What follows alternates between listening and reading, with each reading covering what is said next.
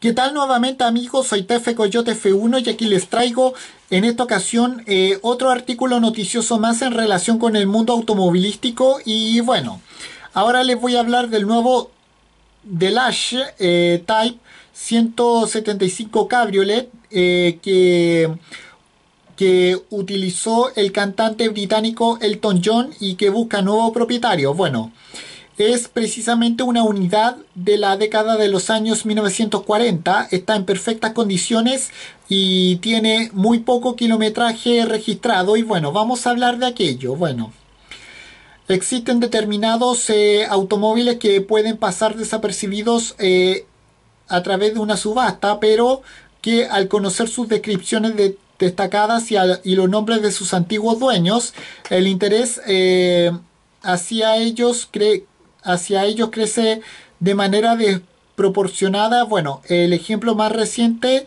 eh, se tiene con este de la hash eh, de, 1949 modelo 175. Eh,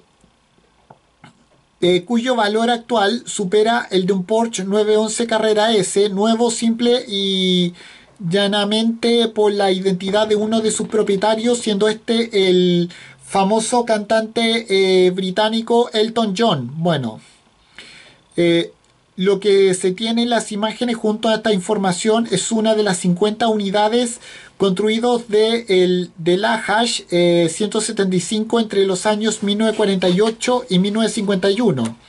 Pese a lo que se puede ver en las imágenes junto a esta información, este automóvil originalmente fue diseñado por el carrocero francés Figno et Falashi eh, como un coupé eh, de techo corredizo para su primer propietario, el Maraja, Maharaja, Maharaja eh, de Mysore. Bueno, un nombre muy difícil de pronunciar y bueno, y es el principal y fue el principal eh, monarca del reino de Mysore en la India que sucumbió ante los encantos de este eh, vehículo francés, pero no fue el único porque en la década de los años 1970 fue comprado por un eh, empresario magnate estadounidense que finalmente lo envió a subasta en Europa en el año 1979. Bueno.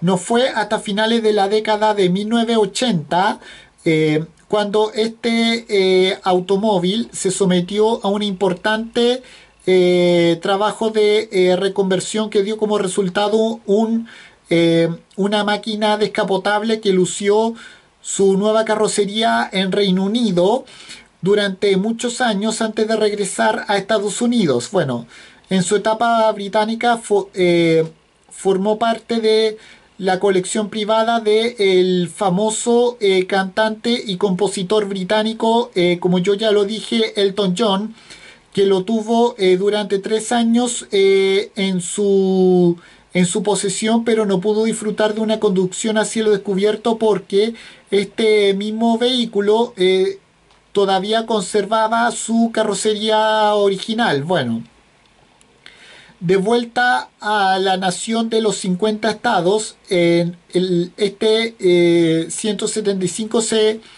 se, se, unió al Petersen Automotive Museum, eh, lugar en el que permaneció hasta que los dueños de este, de este museo se lo vendieron a, una, a la compañía Brigham Trailer con su anterior eh, placa matrícula o placa patente de Reino Unido y toda su y todos sus documentos. Bueno, ahora este, este mismo modelo está siendo subastado y la oferta actual es de 200, 235 eh, mil dólares, algo así como 233 millones de pesos chilenos, una cifra muy elevada, pero hay que recordar que este automóvil apenas circuló durante sus más de 70 años de vida. Eh, lo que registra 2.700 kilómetros. Bueno, debajo de su capó eh, está un propulsor eh, de tipo atmosférico con que posee 6 cilindros en línea y que tiene 4,4 eh, litros y va va conectado con una caja de transmisión Kotal eh, con preselector de cuatro marchas con embrague electromagnético que eh, manda sus 127 caballos de potencia hacia el tren posterior. Y con esto me despido. Adiós, que me fuera. Chao.